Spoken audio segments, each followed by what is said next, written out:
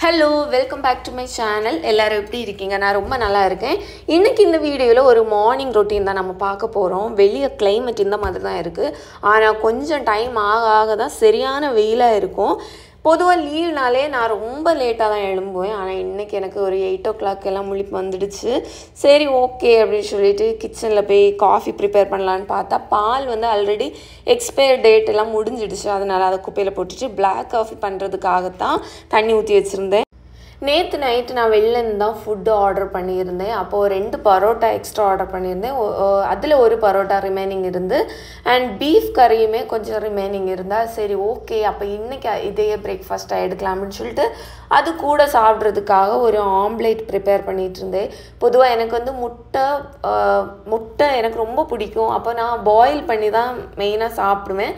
ஆனால் இப்போ கொஞ்ச நாளாக நான் வந்து அப்பப்போ இந்த மாதிரி ஆம்லேட் போட்டுலாம் சாப்பிட்டேன் ஆனால் ஆம்லேட் போட்டு அதை மறிக்கிறது தான் எனக்கு பெரிய டாஸ்க்கு இந்த மஞ்சள் கருவை வந்து உடைக்காமல் எடுக்கணும் அப்படின்னு சொல்லி என்ன தான் பொண்ணு போல் பார்த்தாலுமே லாஸ்ட்டு மறிக்கும் போது அது நமக்கே டஃப்பு கொடுத்து அது அப்படியே உடஞ்சி போயிடும் இந்த பரோட்டா வந்து ரொம்ப பெருசாக இருக்கும். ஒரு பரோட்டா சாப்பிட்டாலே மார்னிங் பிரேக்ஃபாஸ்ட் ரொம்ப ஃபுல்ஃபில்லாக இருக்கும். ஸோ அந்த பீஃபையும் கொஞ்சம் ஃப்ரை பண்ணி எடுத்துனேன் இந்த பரோட்டா ஒன்று இங்கே ஒரு ரியல் அதாவது நம்ம ஒரு காசுக்கு இருபத்தொன்று ரூபா ஒரு பரோட்டா. நம்ம ஊரில் எவ்வளோன்னு தெரியல. நம்ம ஊரில் ரொம்ப கம்மின்னு தான் நினைக்கிறேன். ஸோ காலையில் பிரேக்ஃபாஸ்ட் வந்து ரெடி ஆகிடுச்சு பரோட்டா பீஃப் கறி பிளாக் காஃபி அண்டு முட்டை வந்து முட்டை ஆம்லேட்டு ஸோ எல்லாத்தையும் வச்சு செமையாக பிரேக்ஃபாஸ்ட்டை பிரேக்ஃபாஸ்ட் முடிஞ்சதுக்கப்புறம் எனக்கு ஹாஸ்பிட்டல் வேறு போகணுமா இருந்துச்சு. என்னோடய ட்ரெஸ்ஸஸ் வந்து லாண்ட்ரியில் போட்டு அப்புறம் லாண்ட்ரியிலேருந்துமே எனக்கு ஆல்ரெடி நான் போட்டிருந்த ட்ரெஸ் எடுக்கணும். ஏன்னா நெக்ஸ்ட் டியூட்டி இருக்கும்போது எனக்கு வியர் பண்ணுறதுக்கு ஒன்றுமே இல்லை. என்ன தான் நான் இங்கே வாஷ் பண்ணாலுமே லாண்ட்ரியில் கொடுக்கும்போது நீட்டாக அயன் பண்ணி சூப்பராக தருவாங்க. அதனால யூனிஃபார்ம் மட்டும் நான் அங்கேருந்து வாஷ் பண்ணி எடுத்துருவேன். அண்ட் போகிற வழி வந்து அப்படியே ஒரு வண்டி எதுவுமே போகாமல் அவ்வளோ ரோடு வந்து அவ்வளோ சைலண்டாக இருந்து. எனக்கு டியூட்டி போகிற அந்த ஒரு இடத்துல எனக்கு ரொம்ப பிடிச்ச இடம் இந்த இடம்.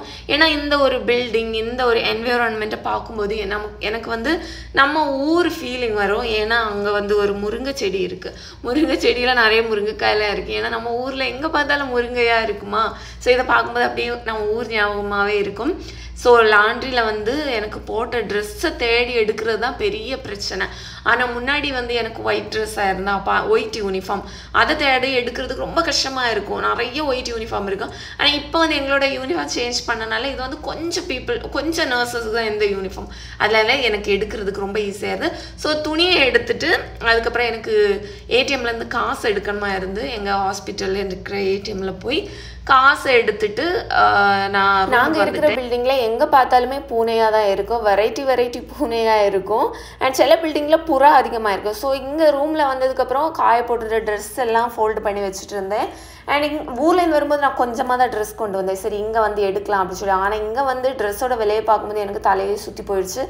இதுக்கு ஊர்லேருந்து கொண்டு வர்றது எவ்வளோ பெஸ்ட்டு அப்படின்னு சொல்லிட்டு ஒவ்வொரு தடவை இப்போ எப்போ ஊருக்கு போயிட்டு வந்தாலுமே ஒவ்வொரு தடவையும் துணியை விட அதிக லக்கேஜ் இருக்கிறனால பெருசாக துணியை எடுத்துகிட்டு வர முடியாது. அது அந்த வேலை முடிஞ்சதுக்கப்புறமா ஃப்ரிட்ஜில் ஒன் டே சாம்பார் வச்சுருந்தேன். அப்போது அவசரத்தில் திங்ஸை உள்ளாடி திணிக்கும்போது சாம்பார் எல்லாமே கொட்டிடுச்சு. ஸோ அதனால் ஃப்ரிட்ஜ் எல்லாமே ரொம்ப டர்ட்டியாக இருந்துச்சு. டியூட்டி இருந்தனால என்னால் க்ளீன் பண்ணவே முடியல.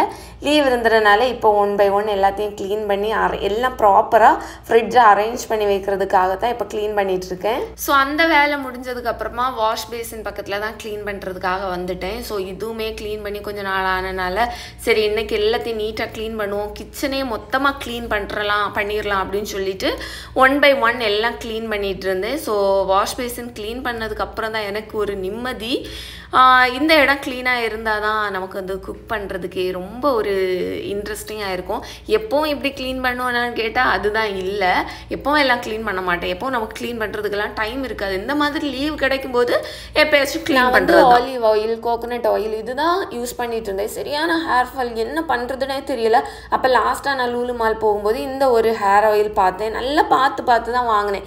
இதில் வந்து hibiscus henna sesame amla coconut walnut இதெல்லாம் போட்டிருக்கு அப்படின்னு சொல்லி இருந்தனால சரி நானே என்னோட ஓன் ரிஸ்கில் இந்த ஒரு ஆயிலை வாங்கினேன். இதை அந்த கலர் இந்த மாதிரி தான் இருக்குது அண்ட் இதோட ஸ்மெல் வந்து சூப்பராக இருக்குது ஒரு டூ த்ரீ டேஸ் யூஸ் பண்ணேன். எனக்கு பிடிச்சிருக்கு.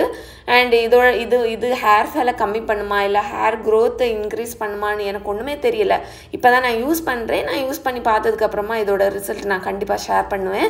எனக்கு இது ரெண்டு நாள் யூஸ் பண்ணேன். நல்லா பிடிச்சிருக்கு. ஆனால் ஹேர் ஃபால் இன்னும் கம்மி ஆகலை. அப்படியே தான் ஆயில் எல்லாம் அப்ளை பண்ணது பண்ணதுக்கு அப்புறமா ரூமை தான் க்ளீன் பண்ணுறதுக்கு வந்து இது வெட் மாப் எல்லாம் போட்டதுக்கு அப்புறமா இந்த மணி பிளான்ட்டு நிறைய இருந்துச்சு. இப்போ கம்மியாகி கம்மியாகி இப்போ ஒரே ஒரு பாட்டிலில் மட்டும் தான் போட்டு வச்சுருக்கேன். அது ஏன்னு தெரியல. மேபி இது மண்ணில் இருந்தால் தான் நல்லா வளருமோ என்னவோ தெரில தண்ணியில் போட்டால் அது ரொம்ப வளரலை. ஒரு குறிப்பிட்ட டைம் வளருது. ஒரு குறிப்பிட்டலேருந்து வளருது. அதுக்கப்புறம் அவ்வளோதான் அப்படியே தான் இருக்குது ஸோ என்னென்ன கொண்டு வந்த மேனிக்கு அப்படியே இருக்குது ஆனால் கொஞ்சம் கொஞ்சம் வளருது. அவ்வளோதான் அந்த அடி தண்டு வந்து கொஞ்சம் அழுகி அந்த மாதிரி ஒரு மாதிரி ஆகுது. கொஞ்சம் மனசு கஷ்டமாக தான் இருக்குது நான் நினச்சது ஐவா இது வந்து ரொம்ப கொழு கொழு கொழுன்னு வளரும். சூப்பராக நம்ம இங்கே எல்லாம் ஸ்ப்ரெட் பண்ணி விடலாம் அப்படின்னு சொல்லி. ஆனால் பார்த்தா கொஞ்சம் கூட வளரவே இல்லை. சரி இப்போது ஹஸ்பண்ட்கிட்ட ஊர்லேருந்து கொண்டு வர சொல்லியிருக்கேன். ஸோ இருந்த இவ்வளோ மணி பிளான்டையமாவது காப்பாற்றணும் அப்படின்னு சொல்லிட்டு தண்ணியெல்லாம் சேஞ்ச் பண்ணி வச்சுட்டேன். ஸோ இந்த வேலையெல்லாம் முடியும் போதே எனக்கு டுவெல் ஓ கிளாக் ஆகிடுச்சு ஸோ இதோட நான் இந்த விலாகை கம்ப்ளீட் பண்ணுறேன் உங்களுக்கு இந்த விலாக் பிடிச்சிருந்துன்னா கண்டிப்பாக லைக் பண்ணுங்கள் அண்ட் என்னோடய சேனல் சப்ஸ்கிரைப் பண்ணலைன்னா சேனல் சப்ஸ்கிரைப் பண்ணிக்கோங்க. அண்ட் என்ன